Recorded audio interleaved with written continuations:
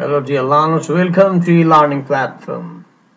This week you are going to learn some new poems written by Ted Hughes. The selected poems are The Jaguar and Otter and Pike. Me Faisal Ahmed with you throughout the whole lecture. Let's begin. Synopsis of the poem The Jaguar by Ted Hughes. The Jaguar was published in The Hawk in the Rain in 1957. Throughout the poem, Hughes uses figurative language and imagery to depict the differences between the jaguar and the other creatures, even cats, that live in the zoo. The jaguar attracts all manner of attention from the crowds at the zoo, far more than any of the other animals. This is all due to the power and freedom of spirit that the cat has maintained. The human visitors can sense this and are drawn to it.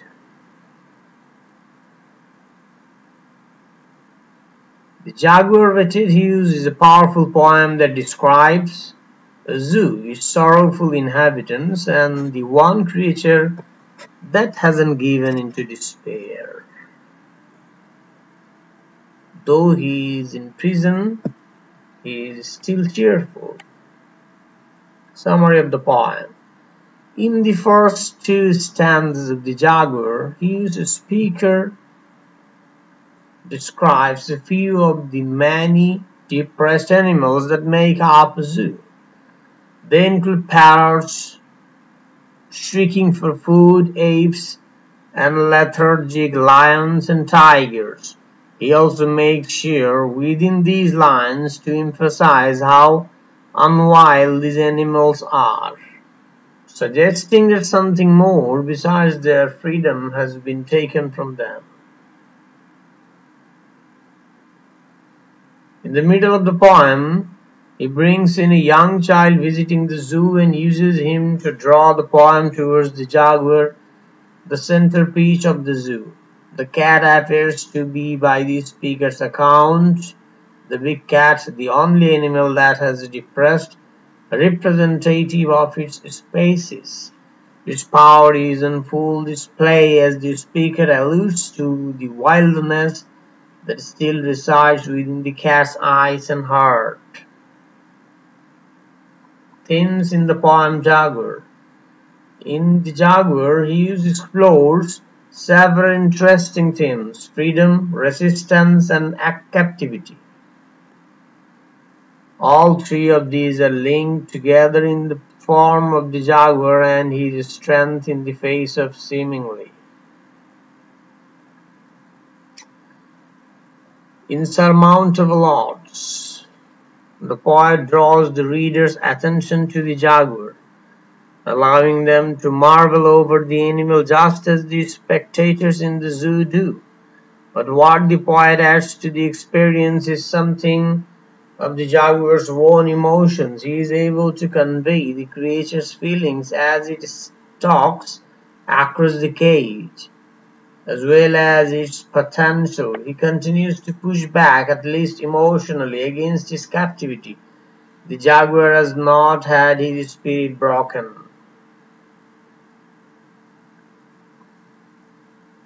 Next poem, an otter synopsis of the poem. Or you can look at you can look at a picture of the otter. An otter is a beautiful poem where the poet has given the story of an otter.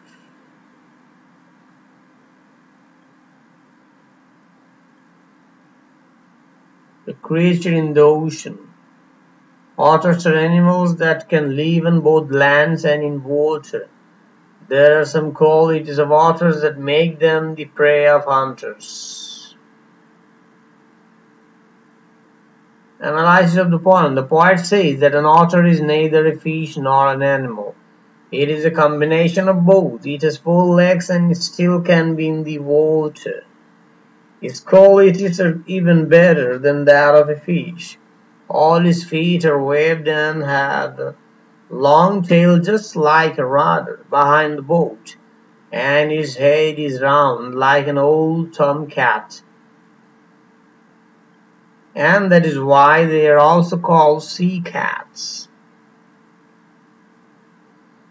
Due to such features, an author brings the legend of himself from the time way before wars or burials. So otters existed way before human beings.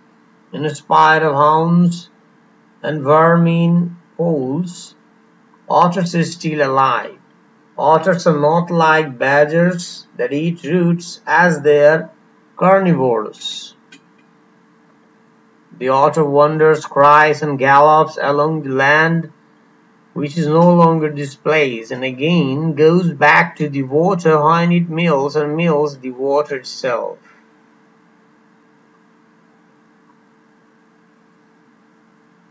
The poet has defined the otter by defining the qualities of various creatures. The otter neither belongs to land nor water, and it is seeking some world that was lost ever since it dived into the water. And he is still looking for his world, but he cannot completely return to the world. So he takes his changed body to the holes of lakes. It behaves as if it is blind and cleaves the water, passes through it, till it can lick the pebbles of the bottom of the water source. The otter has the quality to cross seas within three nights just like a king in hiding. Again the poet is giving an example of its connection to mythology. The otter cries to the old shape of its starlit and over the sunken farms where bats freely roam around. It keeps crying till the day arrives and the birds sing their songs and the cars start running on the roads. In the poem, Ted Hughes tries to hint towards an understanding of the necessity of the war between vitality and death by placing the animal evidence that vitality has been sustained by death in the wider context of a universe that is creative destructive. In the poem, Ted Hughes tries to hint towards an understanding of the necessity of the war between vitality and death.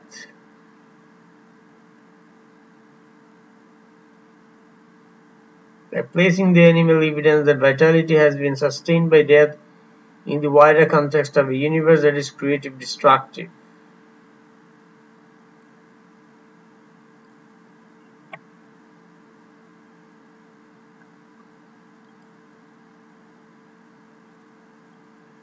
In the poem, the author symbolizes all the forces in nature that elude definition, the forces that are ambiguous and that must be understood by a man so as to reach the metaphysical reality of the existence of humans.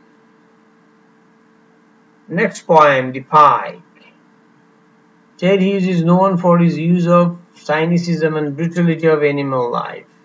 Pike is no exception and depicts Pike as an animal born with the instinct to kill and destruct, though it looks like a fish, but it has a feature of an animal. He has allegorically used it to imply that every human has got such nature, which is revealed when he wants to achieve something over the other. It also serves as a reminiscence of his childhood.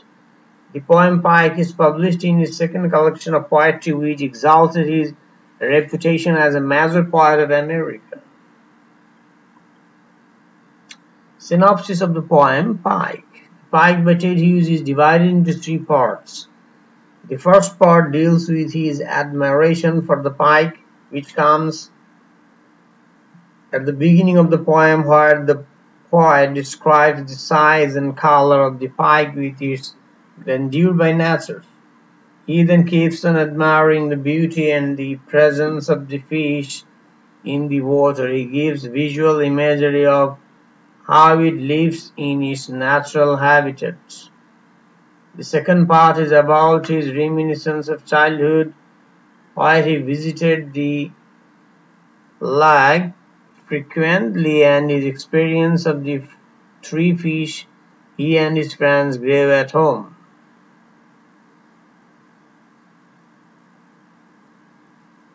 That experience gave him the lesson that the strong ones survive in the world, whereas the weaker ones must succumb to their fate of being eaten by the healthy one.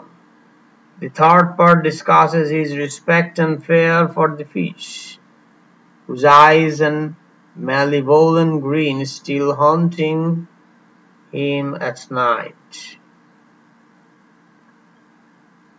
The poem gives us a reference to D.H. Lawrence's poem Mosquito. The mosquito does its work it is created for. It makes man dread, though very smaller in size. The contrast here is that mosquito disgust, whereas Pike depicts his admiration. Pike is a poem of 40 lines which consists of 10 stanzas written in quatrains.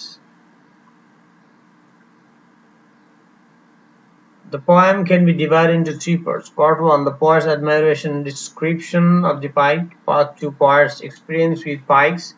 Part 3 Poet's fishing experience in the pond.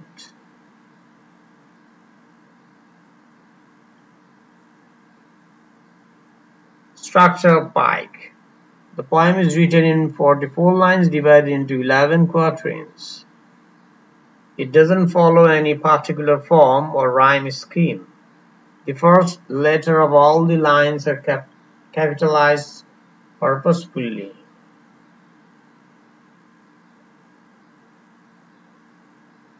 to give the magnificent appeal to the pike, in spite of the lines ending in the middle in many places.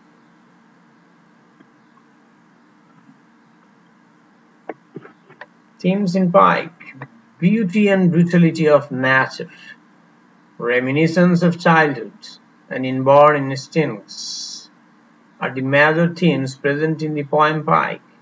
Pike is beautiful by nature and at the same time it is meant to kill for its survival, which is the brutal fate of it. From growing the pikes in a, gla in a glass jar and the dreadful experience of seeing a pike killing another gives an overview of the poet's experiences with pike and the impact of it.